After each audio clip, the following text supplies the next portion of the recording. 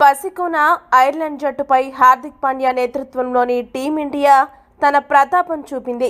ఆదివారం జరిగిన ఈ మ్యాచ్లో టీమిండియా ఏడు వికెట్ల తేడాతో భారీ విజయాన్ని నమోదు చేసింది.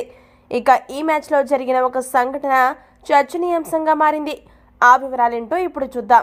భారత స్టార్ ఆటగాడు భువనేశ్వర్ కుమార్ సాధారణంగా నూట ఇరవై నుండి నూట నలభై కిలోమీటర్ల మధ్య వేగంతో బౌలింగ్ వేస్తూ ఉంటాడు. అయితే ఐర్లాండ్తో జరిగిన మ్యాచ్లో మాత్రం భువనేశ్వర్ కుమార్ గంటకు రెండు వందల ఎనిమిది కిలోమీటర్ల వేగంతో బౌలింగ్ చేసినట్లు స్పీడోమీటర్లో రికార్డ్ అయింది. దీంతో క్రికెట్ ప్రపంచం ఒక్కసారిగా నివ్వెరపోయింది.